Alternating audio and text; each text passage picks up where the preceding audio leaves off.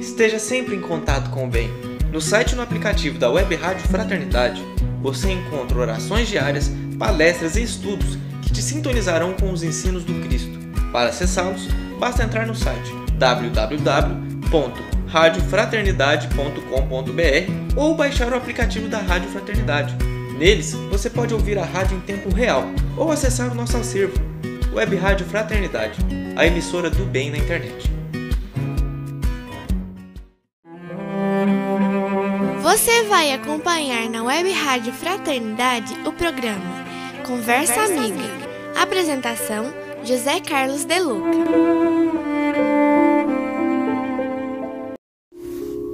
Olá, como você está? Espero que esteja bem. E se não estiver?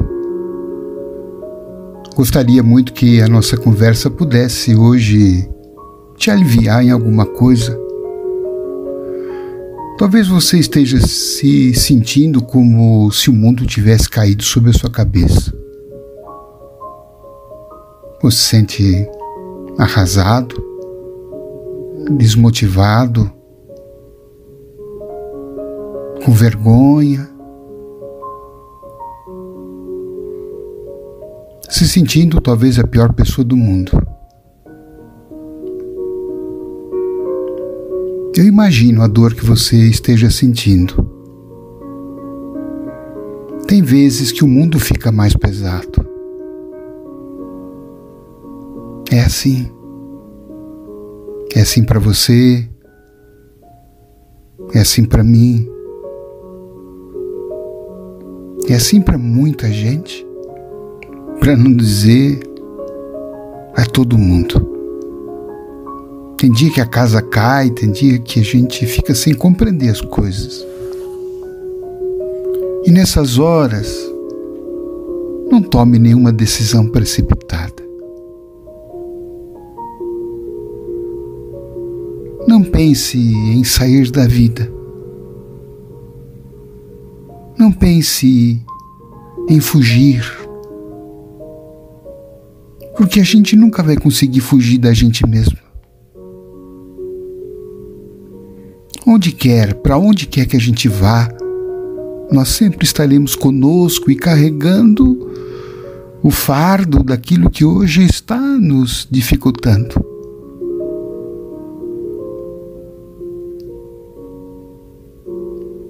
Eu tenho certeza que o teu melhor amigo nesse momento, e aqui eu estou tentando fazer o papel dele,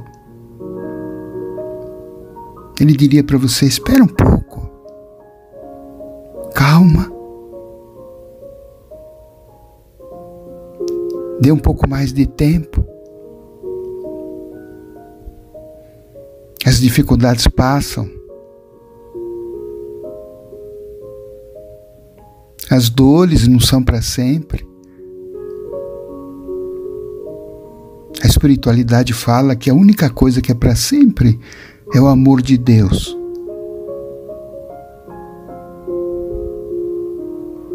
Você talvez diga que não acredite em Deus, mas pense que Deus acredite em você, que Ele o ama. E não diga que isso não é verdade, porque se fosse você não estaria sofrendo.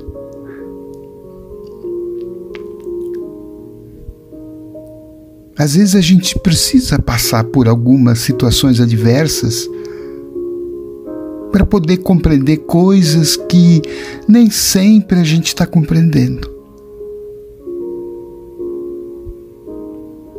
Às vezes a, a vida nos vira do avesso para que a gente compreenda o direito. Às vezes a gente tem que experimentar um remédio amargo para nos curar. Às vezes a gente precisa experimentar carências para poder redimensionar as nossas prioridades. Para ver muitas vezes que a gente desperdiçou, que a gente exagerou, que a gente saiu muito fora do caminho, que a gente esqueceu da nossa vida espiritual, que a gente depositou muita confiança aqui nas coisas da terra que são passageiras, que a gente teve muitas expectativas em relação aos outros, pessoas que falharam conosco, que nos frustraram. Tudo isso aconteceu só para que a gente pudesse, sabe, passar por este espécie de terremoto dar uma chacoalhada, para a gente olhar a vida de um outro jeito, priorizar outras coisas que a gente não estava dando importância. E talvez não dar tanta importância para coisas que a gente estava valorizando muito.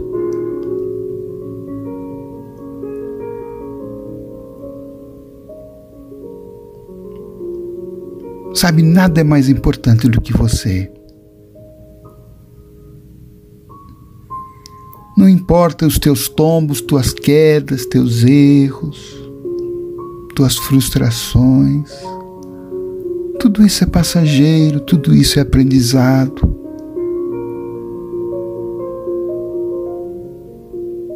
Mas você é eterno. Você é a pessoa que está se construindo. Ninguém está pronto. Ninguém veio esse mundo sabendo tudo. Ninguém acerta tudo sempre. A gente tropeça, a gente se atrapalha, a gente faz bobagem. E tudo isso faz parte do nosso processo.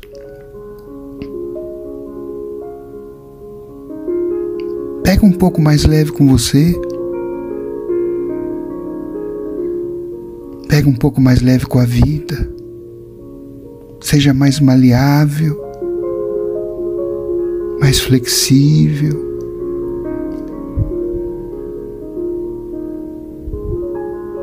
Procure ter aquela condição de, de um aprendiz.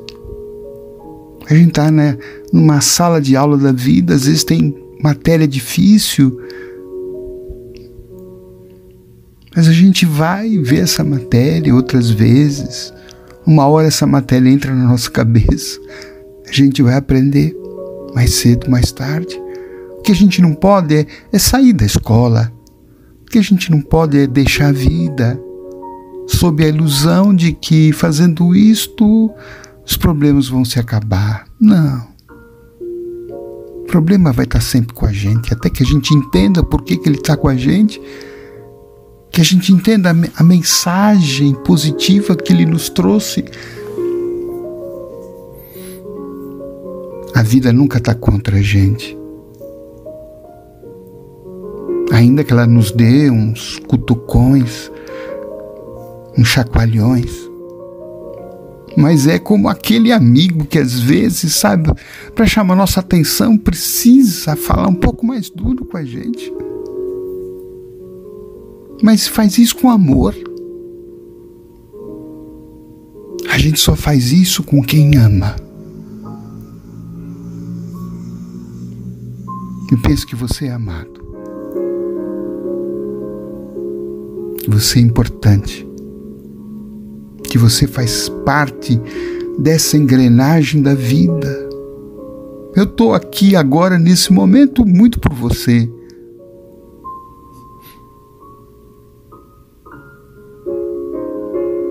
Que eu sei que alguém estava precisando.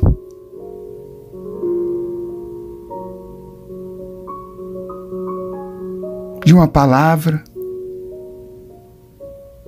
de uma luzinha pequenininha,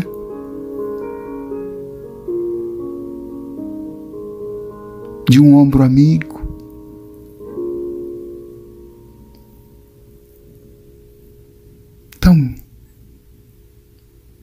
Até o banheiro, sabe? Joga água no rosto,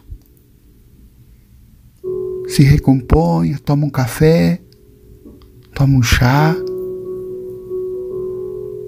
Ouça uma música que te faça bem.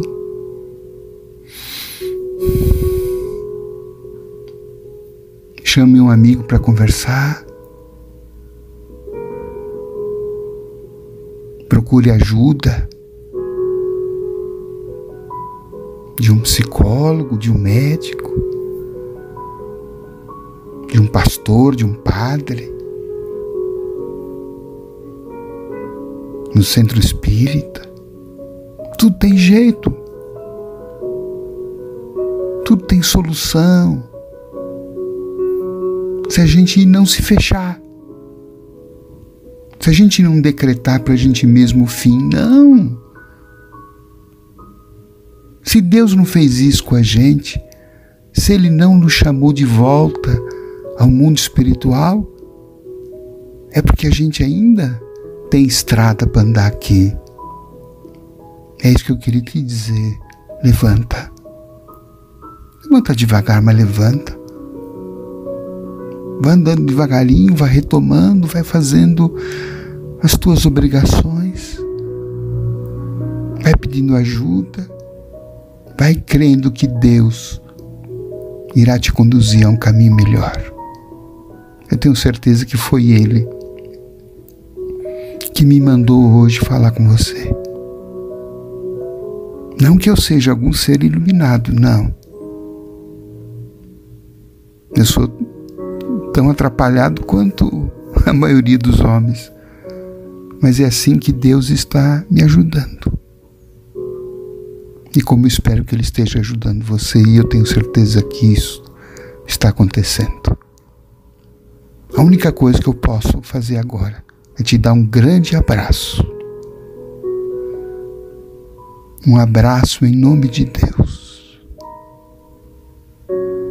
Esse Deus que te ama desse Deus que te levanta, desse Deus que te restaura.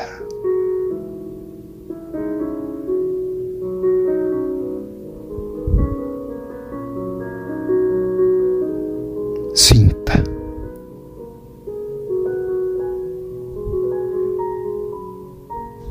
Amanhã é um novo dia.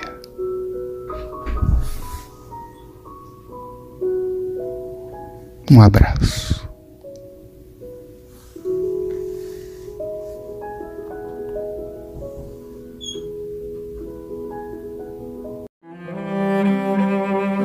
Você acompanhou na Web Rádio Fraternidade o programa Conversa Amiga. Apresentação: José Carlos De Luca.